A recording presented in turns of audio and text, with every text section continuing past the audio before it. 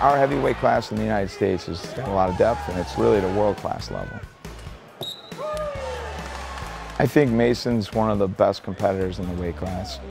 I believe he can beat everybody in the country. I believe he can beat everybody in the world. Currently, I'm a three-time All-American and a junior world champion. I would describe my wrestling style as being really aggressive and very offensive. I want to dominate the guy. I want to put up as many points as possible, not just for myself, but for my team. As Parris going to work now looking for a turn. He's up eight to three. Turk, oh, he's just going to grab O'Donnell's face. Oh, that's nasty. It's fun to watch.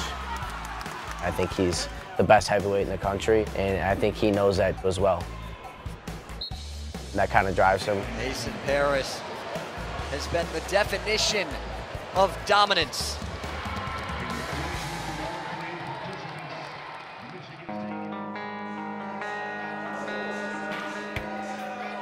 This is actually the first year Mason's having a full season.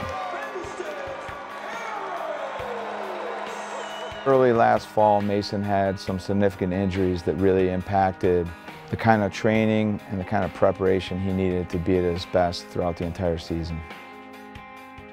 Last year at the World Team Trials, I herniated a disc in my neck.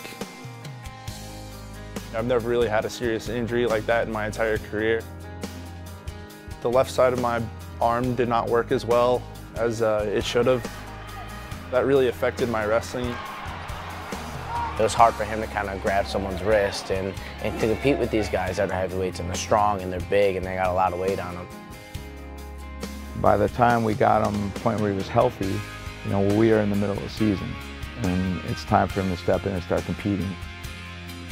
And there wasn't really time for him to rebuild the physical levels that he's used to having and used to competing with. So it definitely, you know, it impacted him. And there were moments he was frustrated and moments that, you know, he's battling through these things mentally. Especially because he's got such a team mentality. It's really hard for him to sit on the bench.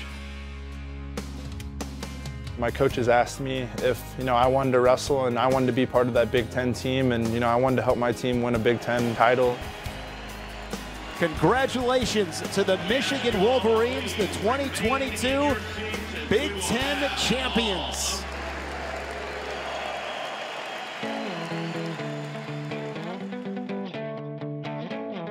Mason spent a, a tremendous amount of, of this offseason in the weight room and just really getting his strength back and, and getting his body balance back out. Last year, he didn't get what he wanted.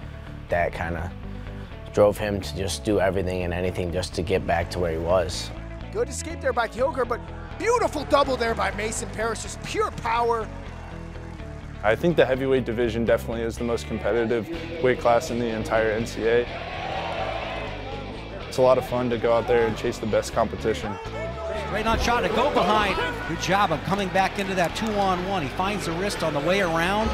Huge takedown there. You got to beat the best to be the best. So, you know, this year I'm coming out here with uh, vengeance. I want to take what's mine this year, and you know, I'm really excited to go out there and compete and try to win a national title.